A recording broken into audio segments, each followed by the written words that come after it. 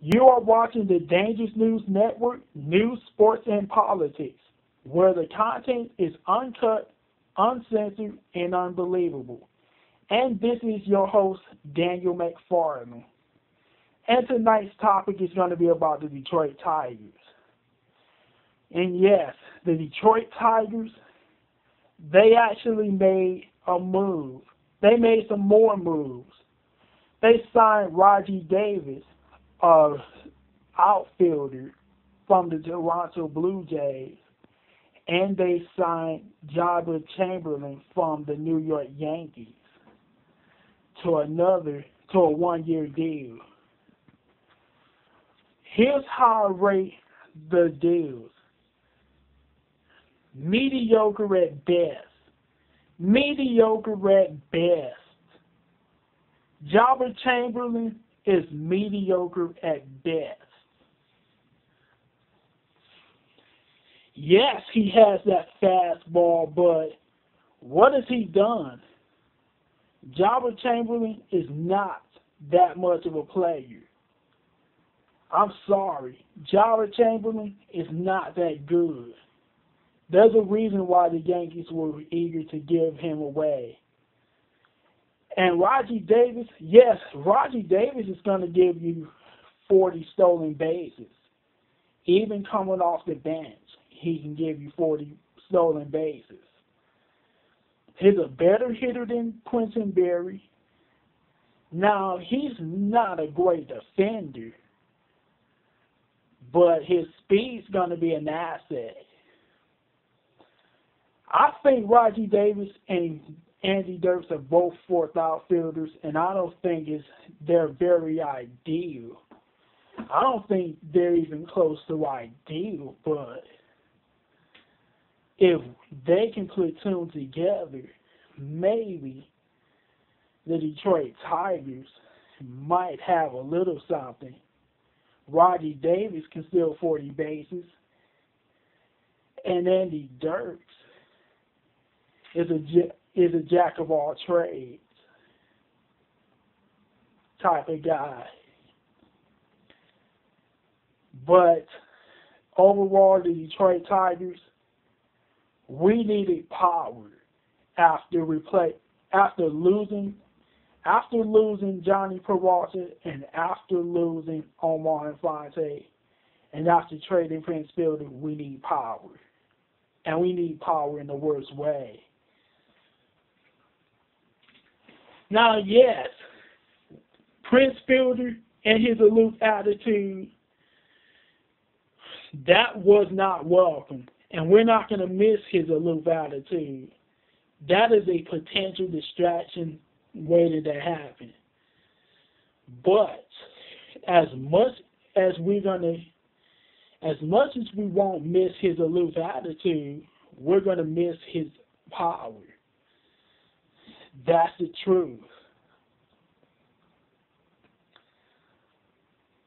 But we do have a leadoff hitter, finally. Ian Kinsler. Now he's gonna he might steal thirty bases again. I don't think Ian Kinsler lost that much. But he's not getting any younger though. Torii Hunter he's due to fall off the cliff. The number three hitter, Miguel Cabrera, I think he still threatens for the Triple Crown. Victor Martinez is a clutch hitter. And I think is that's going to prevent teams from pitching around Miguel Cabrera. They have to pitch to Miguel Cabrera with Victor Martinez hitting behind him. But we need, but we needed power hitting to behind Miguel Cabrera. Jhonny Peralta could have hit fifth, and he could have played third base if we were going to keep Jose Iglesias. But Nick Castellanos, he's projected to hit fifth. Austin Jackson is projected to hit six. Number seven is going to be Alex Avila. Number eight is going to be it's going to be Rajai Davis and Andy Dirks. And number nine hitter is going to be Jose Iglesias.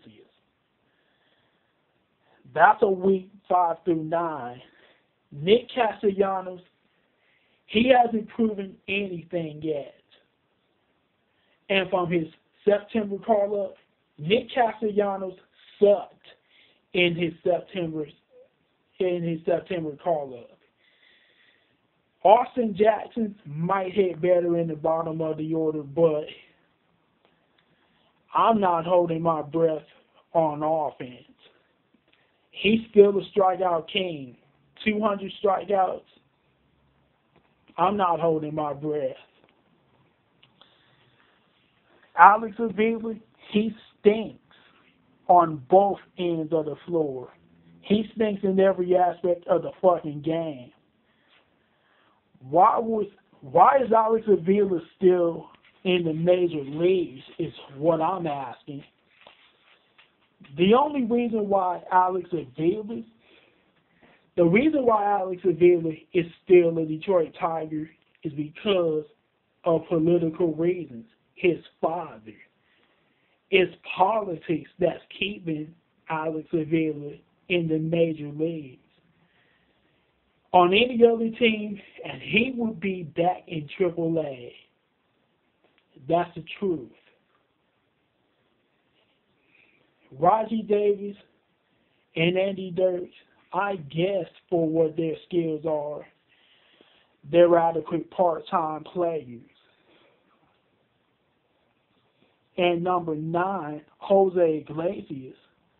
Now he's got Gold Glove potential, but like, but that 300 that he put up in 2013 is likely a fluke, influenced by his BABIP, batting average with balls put in play.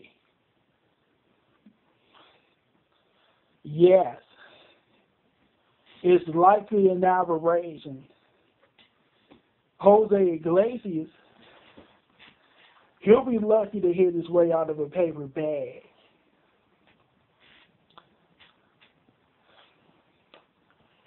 And to add insult to injury, the starting pitching got weaker. Max Scherzer, he's the ace of the staff. Justin Verlander, he's a co-ace. And Anibal Sanchez, Anibal Sanchez, now he's another number one pitcher. Could be number one pitcher he's definitely an elite number two pitcher on most teams. He's a number one pitcher on some teams too. A low ERA, you can count on him having a low ERA. Yes, I think Anibal Sanchez is next to win the Cy Young Award. Could be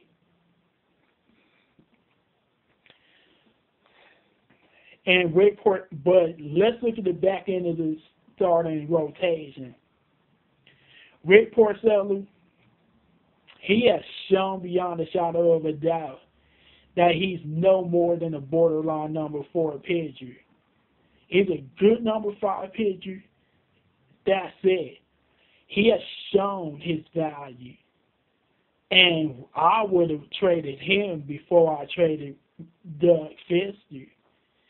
And number five pitcher, Drew Smyly.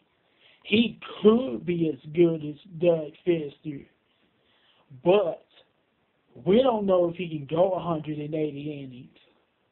Maybe he can, maybe he can't.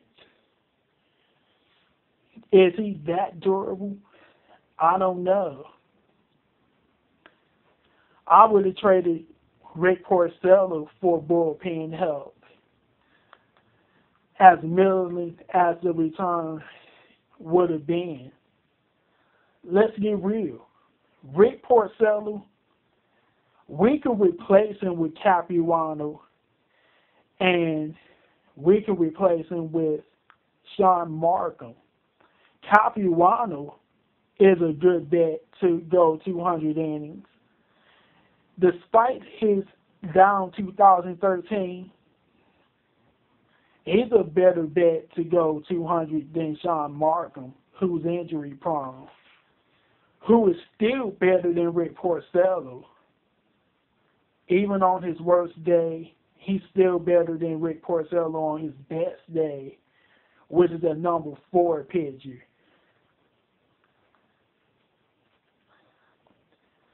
That's my analysis on that.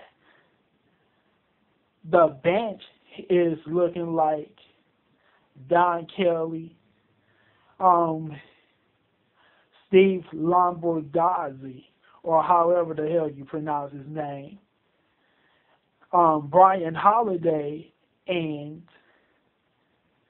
and a platoon of Rajai Davis and Andy Dirks. That's what the bench is looking like. But let's see. But it's not looking good for the Detroit Tigers. I'm predicting I'm predicting no better than 500. And it's not because of the starting pitching so much. It's that offense. You have to learn how to score first. You have to you have to score runs to win. And if Nick Castellanos, in the likely event that Nick Castellanos doesn't pan out, Dave Dombrowski, he will be fired. This would be Dave Dombrowski's last straw. Because to be honest, Dave Dombrowski, he ain't done nothing he's done nothing for the Detroit Tigers, really. Mike Ilitch built the winner, not Dave Dombrowski. Because teams were hip to the idea that Cameron Maybin was shit. And Andrew Miller was a lefty specialist, one out guy only. If if the Miami Marlins wanted quality, we wouldn't have gotten Miguel Cabrera.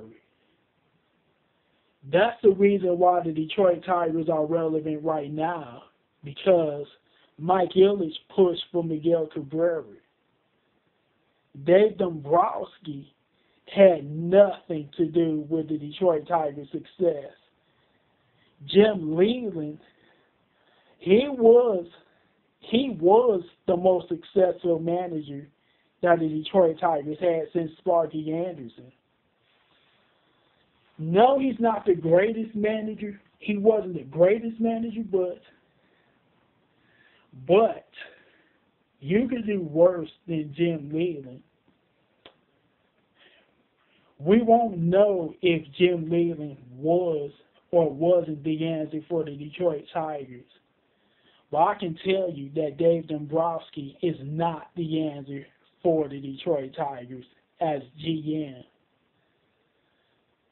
And that's all I got to say about that's all I got to say about the Detroit Tigers after they traded Doug Fister, which is a which was the dumbest move that Dave Dombrowski made.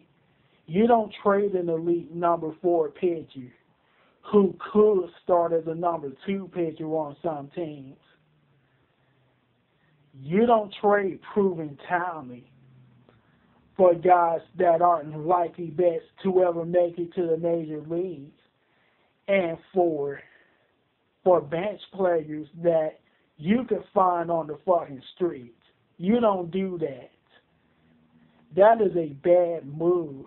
If you couldn't get much value for Doug Fister, even if you could, you don't do that. You don't do that. That was absolutely unnecessary, and it was absolute, and it absolutely smelled of pie in the sky. That was an absolute pie in the sky move.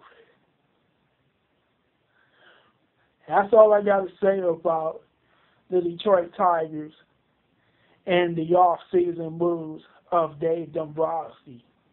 And this is the Dangerous News Network. I'm Daniel McFarland, and I approve this message.